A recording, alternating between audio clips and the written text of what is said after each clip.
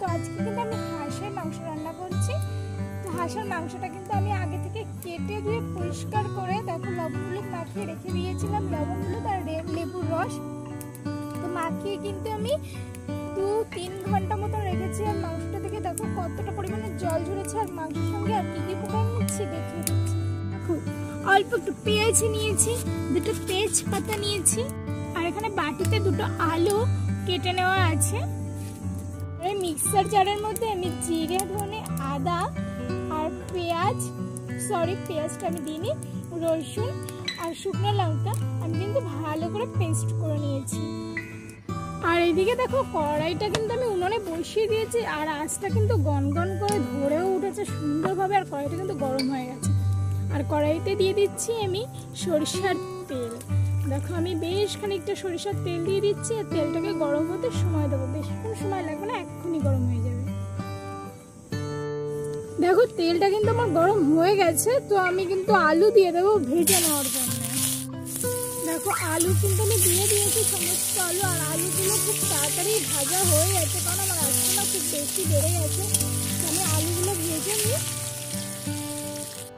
দেখো, আমার আলুগুলো কিন্তু ভাজা হয়ে গেছে, আর আলুগুলো দিয়ে আমি তুলে নেব এক্ষুনি। এবার কিন্তু এই তেলের মধ্যে আমি দিয়ে দেবো তেজপাতা। তেজপাতা দেওয়ার সঙ্গে সঙ্গে, বাবা! যে একটা তেলের ছিটকানি এসেছে, আমি পুরো ভয় পেয়ে গেছি। যাই হোক, একটা অ্যাক্সিডেন্ট হয়ে যাচ্ছিল এখন। তো তারপর আমি দিয়ে দিচ্ছি পেঁয়াজ কুচি।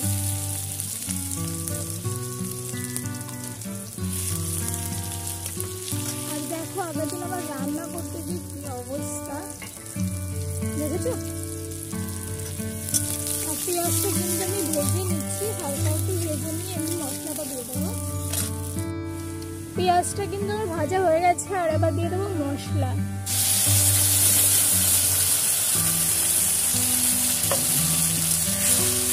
মশলাটা দিয়ে হালকা একটু নাড়াচাড়া করে নিচ্ছি আমি। আমি কিন্তু মশলার ভিতরে এবার দিয়ে দিচ্ছি মশলা ধোয়া জল।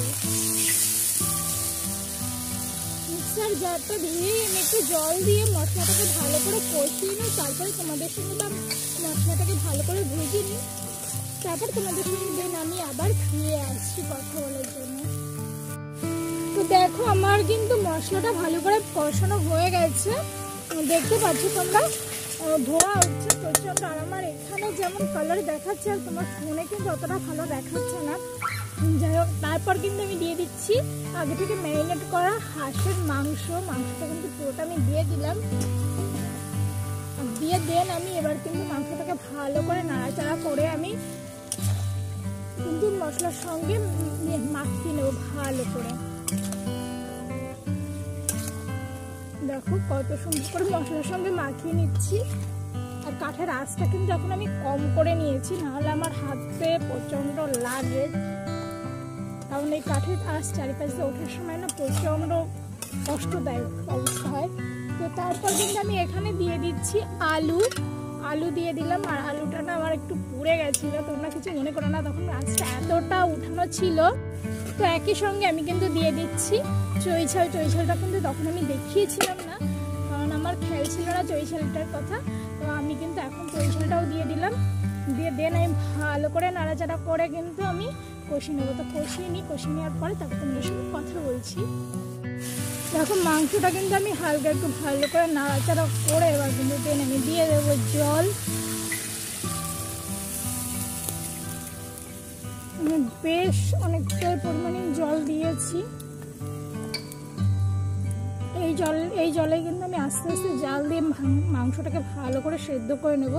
তোমার আরেকটু জল লাগবে সেটা আমি একটু দিয়ে দেব।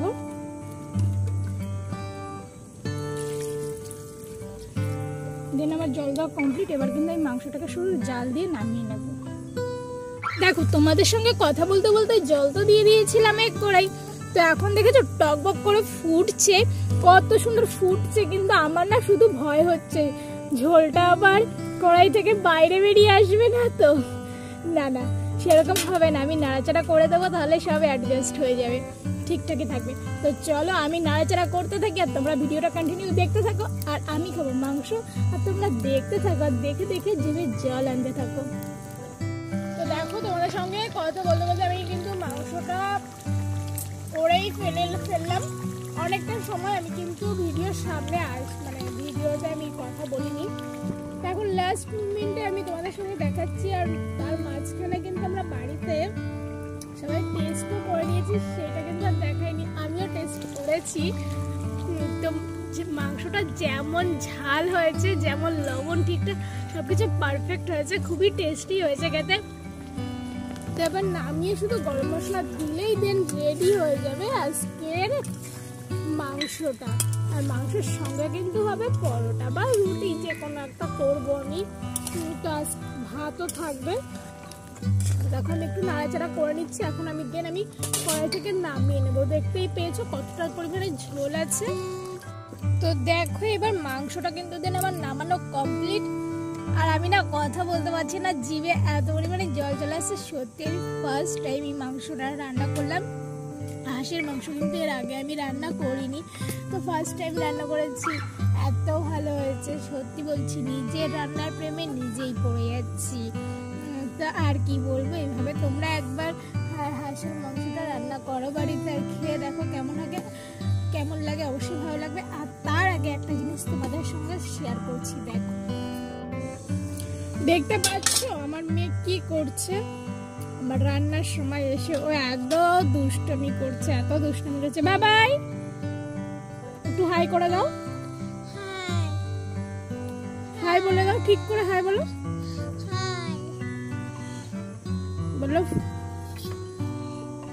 একটু কথা বলো তুমি। বলো তোমরা বলো তোমরা বলো বলো তুমি কেমন? আছো? এবার টাটা করে দাও। ঠিক করে টাটা করে দাও। বাই বাই তো দেখেছ আমার মেয়ে কি করছে, দুষ্টুমি করছে, আর এদিকে ও কিন্তু আমি মাংস রান্না করছিলাম, ওইখানে মাংস রান্নার এখানে চলে এসছে। তো ও মাংস খেয়েছে, ঝালে শেষ ছিল তাও খেয়েছে, ধুয়ে ধুয়ে দিয়েছি। তো এবার লাস্ট মেশিন এইটাই। দাঁড়িয়েছে, তো তোমাদের কেমন লাগল ভিডিওটা অবশ্যই কিন্তু আমাকে কমেন্টে জানাবে। আর ভালো লাগলে অবশ্যই লাইক শেয়ার কমেন্ট আর সাবস্ক্রাইব তো আজকের মতন এই পর্যন্ত, দেখা হবে নেক্সট ব্লগে ততক্ষণ সুস্থ থাকবে, সতর্ক থাকবে, আর ভালো থাকবে। Tata bye bye